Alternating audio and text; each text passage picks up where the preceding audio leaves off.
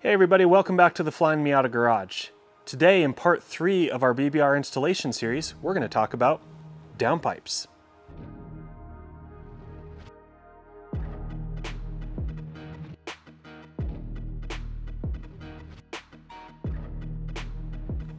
All right, if you were with us for part two of our video series on this BBR install, you saw us remove the factory Mazda manifold, and that contains the primary catalytic converter.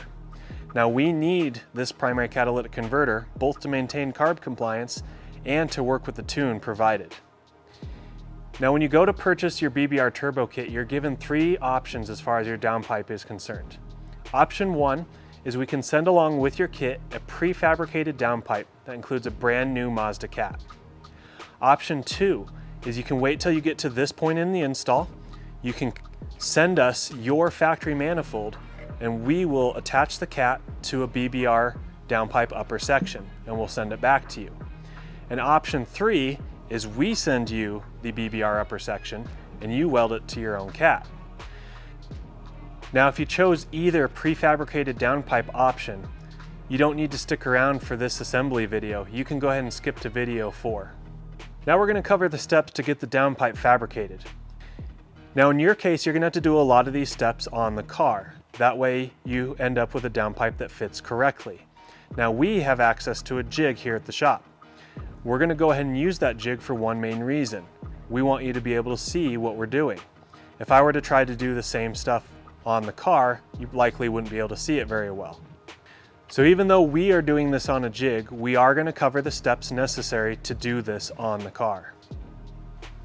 All right, now let's get ready to separate our cat. To do so, I'm gonna take off these heat shields and remove our primary O2 sensor. So for the heat shields, I need a 10 millimeter socket. For the O2 sensor, I've got a 7 8 O2 sensor style wrench adapter.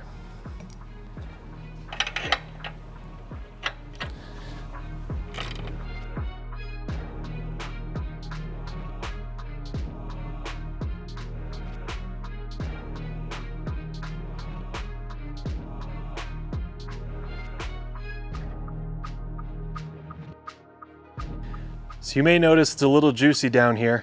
Uh, that's because I had to spray the O2 sensor with some penetrating oil. I originally had a hard time getting it broken loose and it was starting to get a little sticky. So you may need to do the same if you experience that. All right, here we are in our tool room and I've got our manifold mounted up in our bandsaw getting ready to cut off the cat. Now you might need to use a different tool if you don't have a bandsaw available. You can use a chop saw if it has a proper metal cutting bit or you might need to use something more handheld like a rotary grinder. Uh, Dremel might be a little tedious. I don't recommend a plasma cutter because we are right next to our cat material and you don't want to get any slag on it. And I really don't recommend scissors either. So, where are we going to make our cut? If you kind of look at the side profile here, there's a little bit of a dip right before this weld here. Now our cat material ends right on right here and we want to stay away from that. We don't want to cut into that. So typically we want to cut it right where it, it humps back up. And that typically is right on the middle toward the edge of this weld. And again, just like anything else, it's easier to cut off a little bit more if you need to than to undercut and end up ruining something. So we're gonna make our cut here soon. And you can see we're lined up right about the middle of this weld. So we'll get our safety glasses on.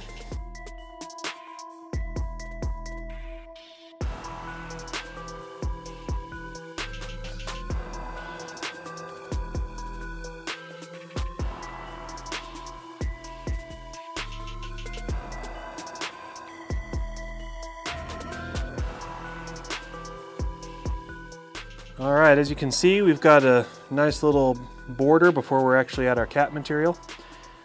So I'll probably just clean up this edge with a wire wheel and then we'll be ready to do some test fitment.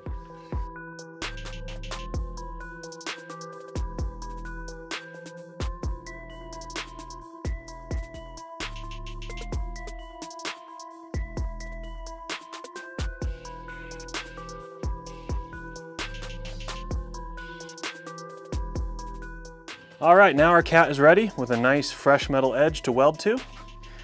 And as far as our old manifold, it's no longer required. You can throw it away, recycle it, hang it on your wall, give it to the neighbor's kid, do something with it.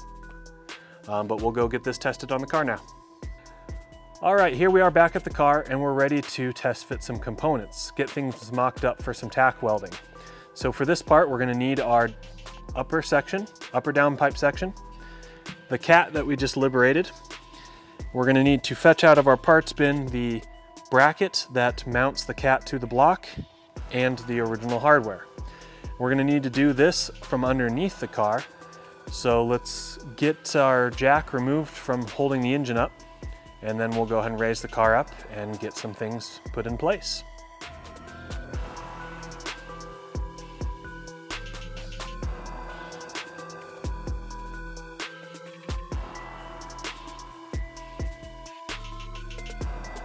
Now we're gonna go through the steps to show you how to weld up your downpipe. Now I'm not gonna necessarily show every step all the way through because remember, we're gonna be welding ours at the bench so you can see it. But I will at least cover the fundamentals of what is necessary for you to do this. So we're gonna start with our downpipe upper section. We have the car up on the lift and I have added a jack stand to raise the engine again. Remember, we still have our passenger side motor mount nut undone, and I've lifted it that 20 to 30 millimeters to be able to have a little bit better access putting the downpipe into position. So now going through the natural exhaust passageway here, we're gonna carefully get the downpipe up into place.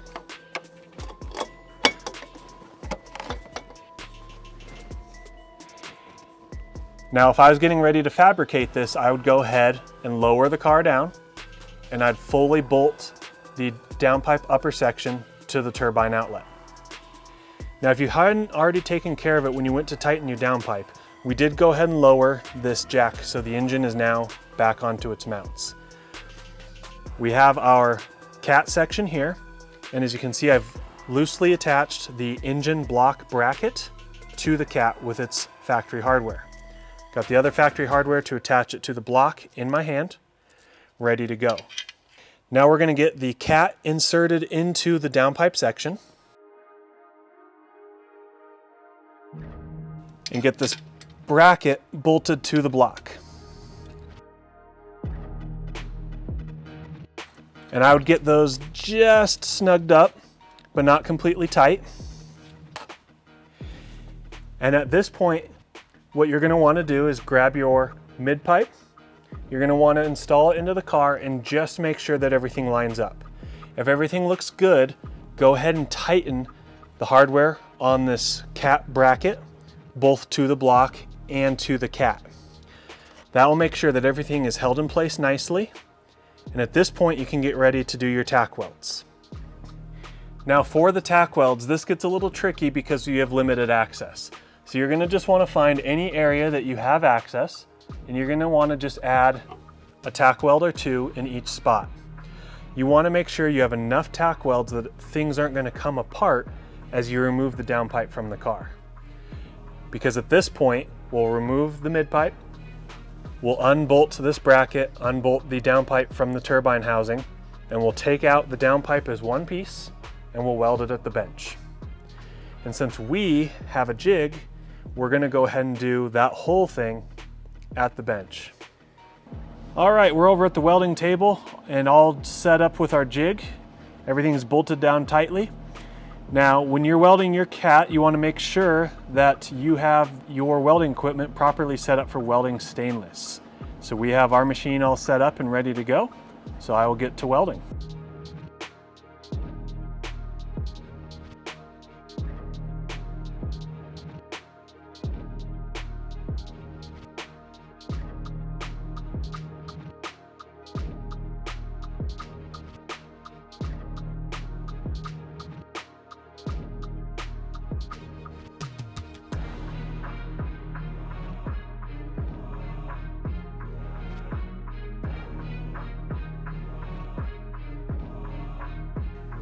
Now we're all done welding, but we're gonna leave this on the jig to cool for a little while so it doesn't warp. Now, if you're watching this video, it means that you either purchased the BBR kit to weld your own downpipe, or you're considering that option.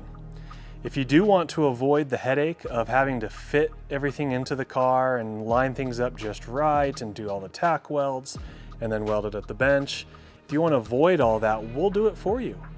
Um, we'll even do it on this very jig. You just have to select that option when you purchase the kit. Now, if you've already purchased the weld your own downpipe option kit, and you're starting to feel a little overwhelmed, either by watching this video or by trying it yourself, go ahead and give our CSR department a call and we'll see about getting you upgraded to having us weld the cat for you. All right, that just about does it for this video where we've covered fabrication of our downpipe. Stay tuned with us for our next video in the series, video four, where we're gonna cover some of the other turbo installation bits. We're gonna be covering installing the water lines, installing the downpipe we just fabricated, and installing another intercooler pipe. So stay tuned with us. Um, thanks again for watching. If you do have any questions during your install, please give us a call or send us an email. Talk to our CSRs, they'd be happy to help you out. If you enjoyed this video, don't forget to like, comment, and subscribe. Thanks again for watching, and we'll see you next time.